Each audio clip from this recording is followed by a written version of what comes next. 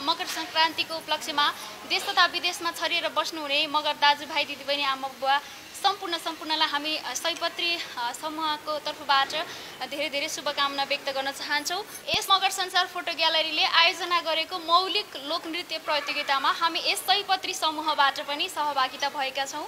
यदि हाम्रो समूहको प्रस्तुति तपाईँहरूलाई मनपर्छ भने कृपया लाइक गरेर चाहिँ हामीलाई अगाडि बढाउनुहोला विजेता बनाउनुहोला। भन्दै हामी हाम्रो प्रस्तुति सुरु गर्न चाहन्छौँ। धन्यवाद नमस्कार। ल छिनिङ छ ठाडो भएका स्याकेले रानी। धेरै छन्। भन्ने होइन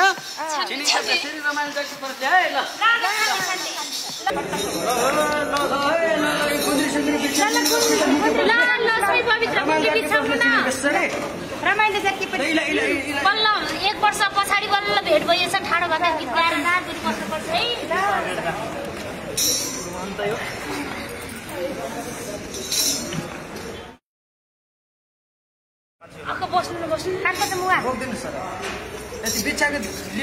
माले रमाइलो जातको दिएले स्याज भनेको र कुलाले है कान लिन्छ भनेको जम्मै तयार छन् भेटा कुलानमा खोइ रामहरीको होला ए ल ल ल ल नमस्कार